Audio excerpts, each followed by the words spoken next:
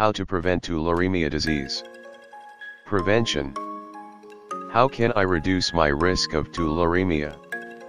You can reduce your risk of tularemia by protecting yourself and your pets from bug bites, safely handling animals and cooking meat to safe temperatures. When possible, wear clothing that covers as much skin as you can while outdoors, especially in long grass or wooded areas. Wear bug spray with DEET.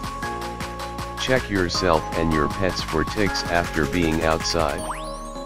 If possible, have someone else check in places you can't easily see, like your scalp. Ask your veterinarian how to prevent ticks on your pets. Cats that go outdoors can get infected with tularemia. Supervise your pets when they go outside. Bites from other animals can spread to tularemia. Wear gloves when handling animals, living or dead. Never pick up a wild animal with your bare hands. Wash your hands thoroughly after handling animals, even if you wore gloves. Cook meat to safe temperatures and always wash your hands, surfaces and utensils after preparing food. Game meat can carry bacteria that cause tularemia. Don't drink untreated water.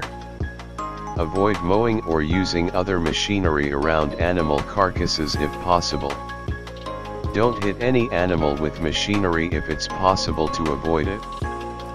Wearing a mask while using a mower or agricultural equipment may help prevent breathing in any aerosolized particles, but more research is necessary to confirm this.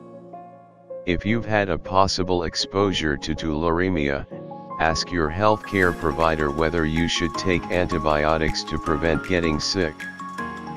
And please like, share, subscribe and please don't forget to give your comments and thank you all for your time.